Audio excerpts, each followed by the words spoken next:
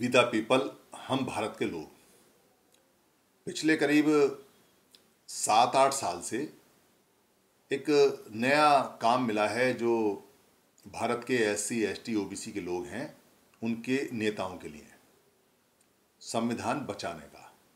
उससे पहले वो उनको जो काम मिला हुआ था, वो था जो ग्लोबलाइजेशन है, जिसमें प्राइवेटाइजेशन हो रहा है, वो सारी चीज़ें जो प्राइवेट हो रही हैं, उससे लड़ने का, उससे बचाने का।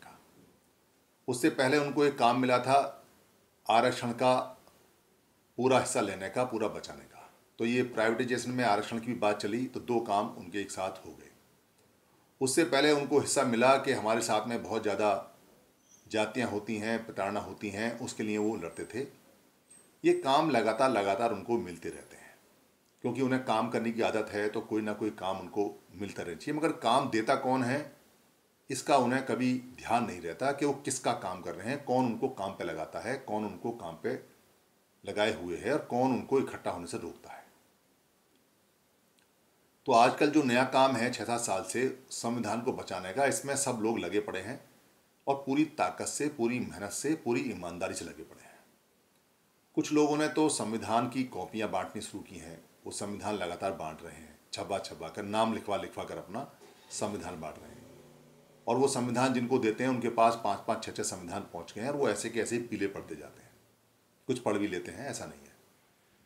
कुछ को काम मिला है कि वो संविधान का प्रियम्बल बांट रहे हैं।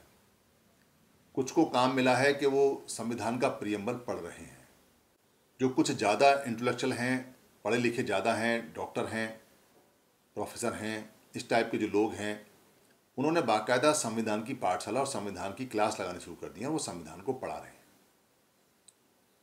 कुछ संविधान का फ़ोटो बड़ा बड़ा लगा के उसके साथ में सेल्फी और फ़ोटो खिंचवा रहे हैं। कुछ संविधान का दिवस भी मना रहे हैं। तो चारों तरफ़ से संविधान को बचाने की बात खूब धूमधाम से चल रही है। जैसा कि आरक्षण को बचाने की चलती थी, जैसा कि कंपनियों को, सरकारी नौकरियों को बचाने की चलती थी, जैसा कि अपनी एट्रोसिटीज़ बचाने की चलती थी, वैसे ही ये भी चल रही है। बड़े बड़े जन जागरण इस पर हो रहे हैं और कुछ लोगों ने तो बाकायदा प्रोग्राम भी इसमें किया हुआ है। संवर्धन, शक्ति, बचाओ क्या क्या शब्द हैं? मतलब जो जैसा जिसको फिट लगा। मगर संविधान बसता कैसे है, इसकी जानकारी कोई लेने को तैयार नहीं है। कैसे संविधान बचा? संविधान में एक पेज था जिस पे लिखा हुआ था कि ये एक्ट्रोसिटी जो एक्ट है, ये शेड्यूल कास्ट को बचाएगा। और शेड्यूल कास्ट में जब भी कोई अत्याचार होगा तो ये एक्ट के अनुसार उनकी एफआईआर होगी और उस एफआईआर में ये जो फ़ायदा होगा, जिससे कि लोग उन पर अत्याचार करने से डरते थे, रुकते थे।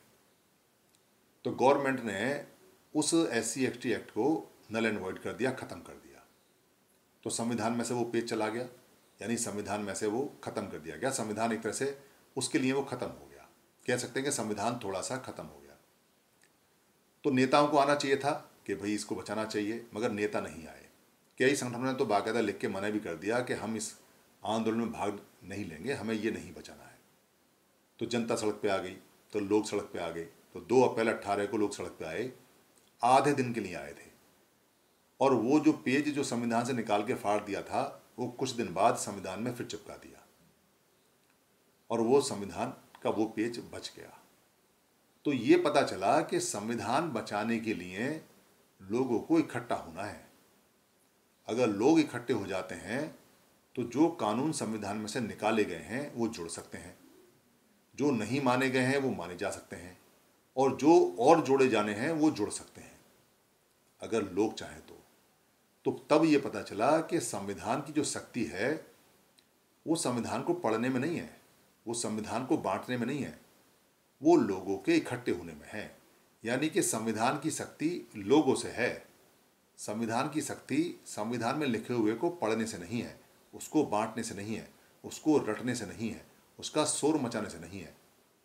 लोग अगर इकट्ठे हो जाएँगे तो जो भी संविधान में आपने सशक्तिकरण करना है, जो भी जोड़ना है, जो भी घटाना है, वो कर सकते हैं।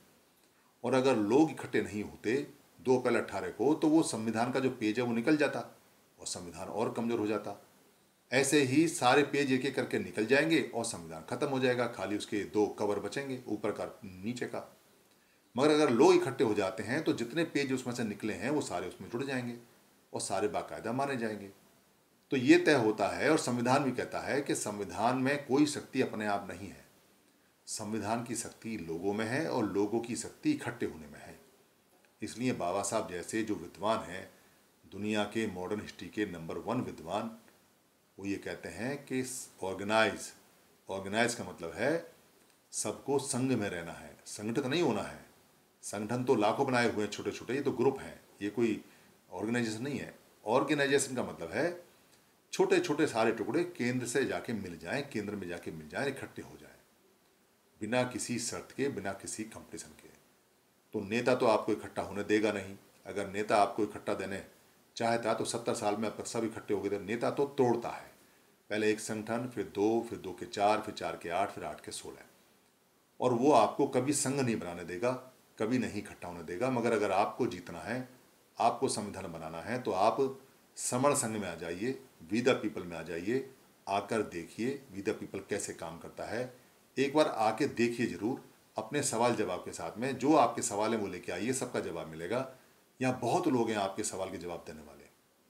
जब आप यहाँ आएँगे तो आपको लगेगा कि अब हम शायद इकट्ठे हो जाएँ तो संविधान बच सकता है, वरना संविधान नहीं बचता। धन्यवाद।